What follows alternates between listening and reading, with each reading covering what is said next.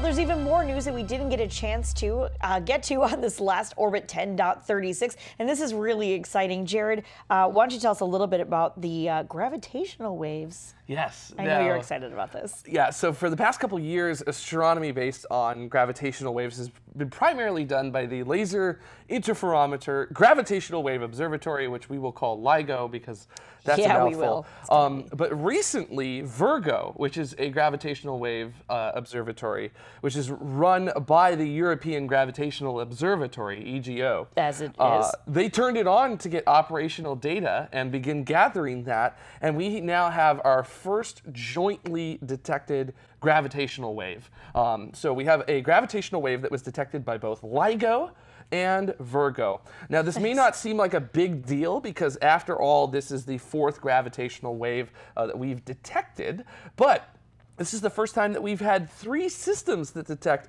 gravitational waves to do so, and this is a critically important step in using gravitational waves to explore our universe. And we just want to send out a huge congratulations to the LIGO team, who it's just been announced a few days ago that they won the 2017 Nobel Prize in Physics for their research into gravitational waves and their eventual detection of gravitational waves. Now, the three detectors, two from LIGO and one from Virgo, allow us to pinpoint where exactly the gravitational wave being detected is coming from in the sky.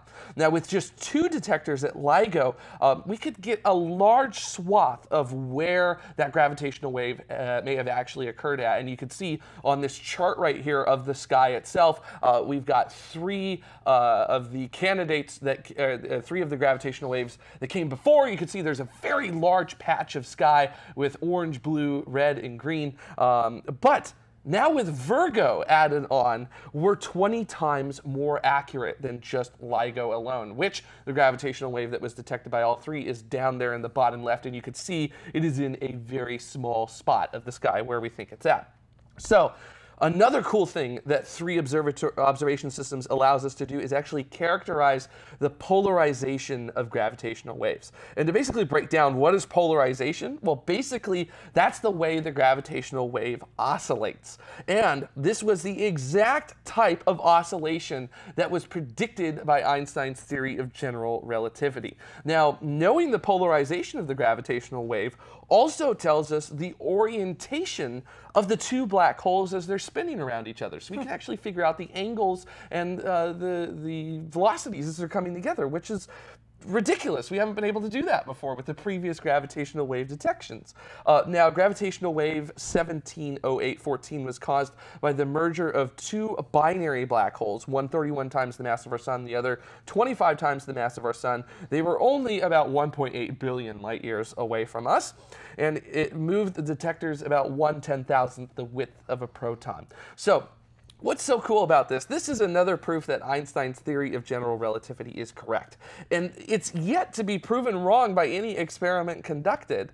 Um, and just a little note earlier this month, we talked about the rumor of LIGO and Virgo detecting two neutron stars colliding. Well, we have no update to that story other than that it's been confirmed by everyone but LIGO and Virgo themselves that that has been detected. It's basically an open secret, an open rumor, if you will, at this point right now. So this story does not disprove that. It's just we found another one a couple days after the detection of those neutron stars colliding.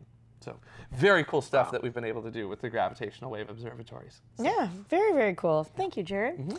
On Orbit 10.36, our main topic was actually Elon Musk's keynote speech at International Astronautical Congress. If you're interested in this and many other topics that we talk about on space or on TMRO, feel free to join us every Saturday live at 1800 UTC.